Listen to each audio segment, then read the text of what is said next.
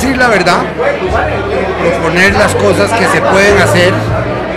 decir con claridad lo que no se puede hacer y comprometerse a hacer las cosas mucho mejor que como se han venido haciendo los últimos años.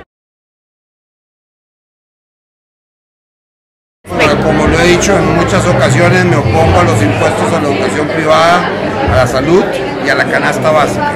Me parece un contrasentido que dado que la Constitución garantiza no solo el derecho a la libertad de enseñanza, sino el deber de la promoción del Estado a la libertad de enseñanza,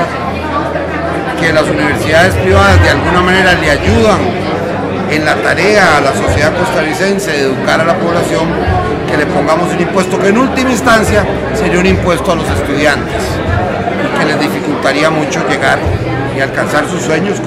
de desarrollarse académica y profesionalmente.